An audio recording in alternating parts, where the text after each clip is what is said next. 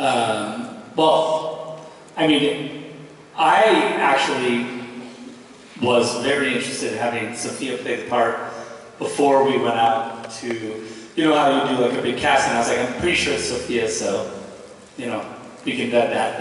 But if everyone, if it makes everyone happy, we'll do whatever kind of casting thing you do. But I was pretty, was pretty set on it. So, uh, and I just think that she, I don't know, I just, she has this um, incredible sort of uh, mysterious quality, but at the same time, she's, she can be vulnerable but fierce. Uh, she can be, um, you know, um, in, in the movie, she's very like in charge, but she also comes from a world where she's had to be like a subservient like soldier.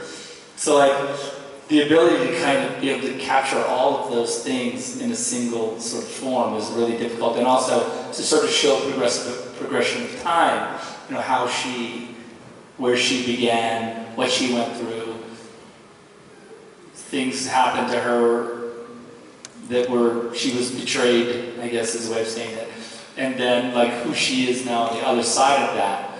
Um, is really, it's a lot, uh, and it all is kind of in the movie.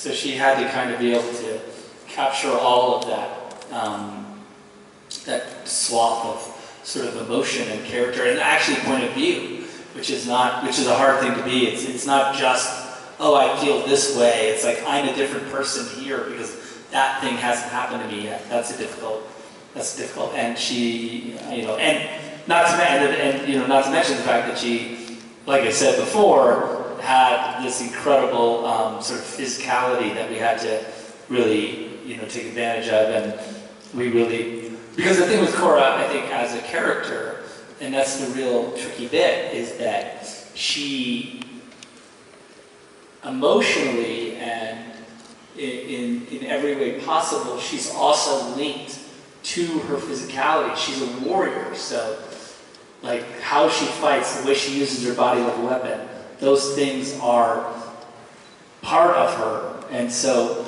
in a lot of ways, just to do character work, you, you have to be able to combine the two. You have to, like, you know, it can't be completely cerebral, though it has to be.